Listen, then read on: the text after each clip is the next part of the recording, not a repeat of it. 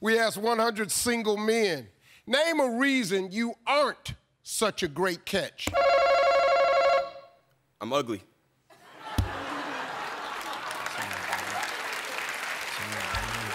It's all right. It's all right, Rob. It's all right. It's all right. It's all right. It's all right. Hey, Rob, don't worry about it. I've been dealing with it for 61 years. Don't even worry about it, man. Us ugly people just stay together. You're the best looking ugly dude I've ever seen, man, I'll tell you that.